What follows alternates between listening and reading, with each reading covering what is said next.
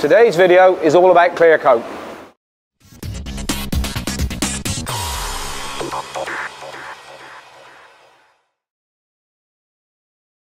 Based on the comments you've given us after watching our YouTube videos, we want to spend today looking at clear coat and more specifically application of our VOC high solids clears.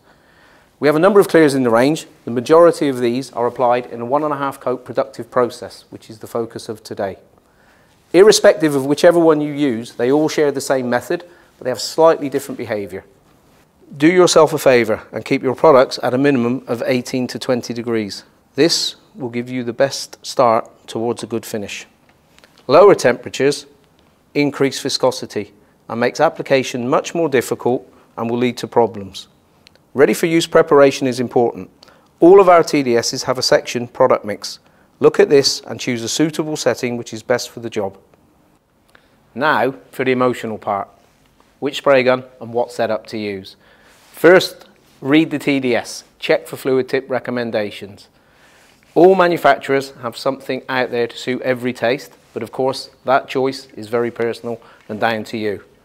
As for the setup, we always use fully open fan, fully open needle, and finally we set the pressure using a full trigger. In the beginning, I mentioned that our focus today is on the one and a half coat process. And I got to say, over the last 20 years, I've seen a lot of different interpretations of this. So let's go back to basics. Let me take you through it step by step. Before I apply the clear on the car, let's take a look at this.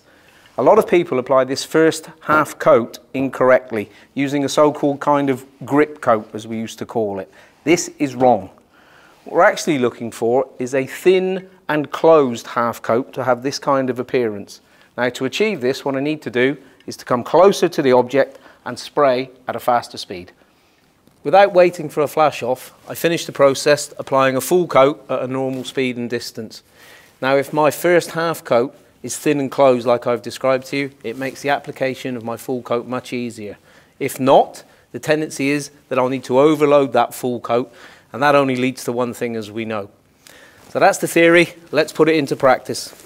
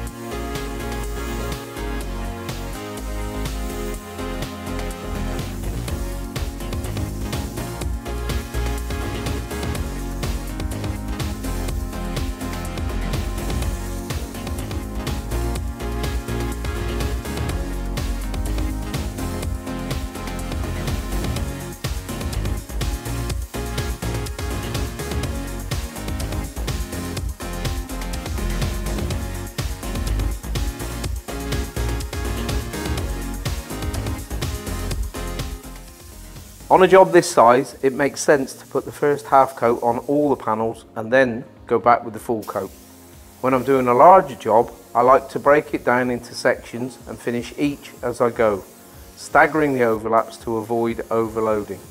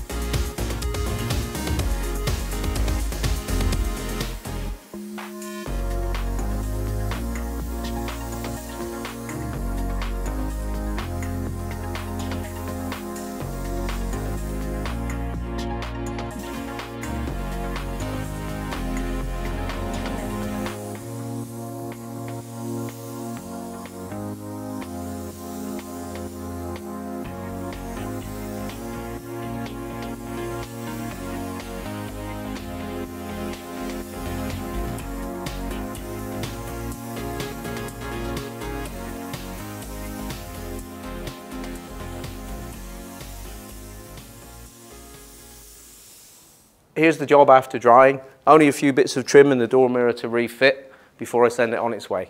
Now, let's have a recap. Read the TDS, paying particular attention to the product mix section.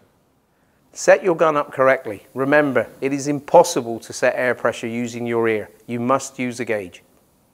Our one and a half coat clears are designed to be used in a continual process like I showed you. Unless the TDS states otherwise, a two coat application is not advised and if you do so, it will lead to problems. Get the first half coat thin and closed and you're on track for a great finish. Don't overload the full coat. These clears are high in solids, so let them work for you. I hope you've enjoyed this video and I look forward to getting your comments. See you soon.